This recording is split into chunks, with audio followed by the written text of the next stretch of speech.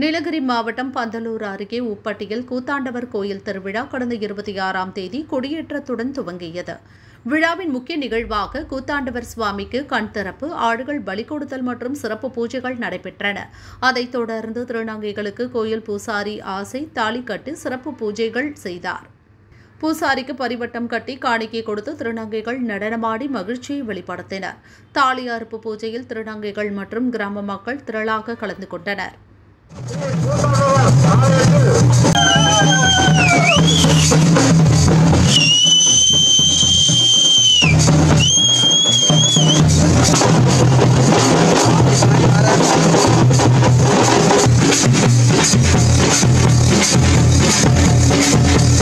去。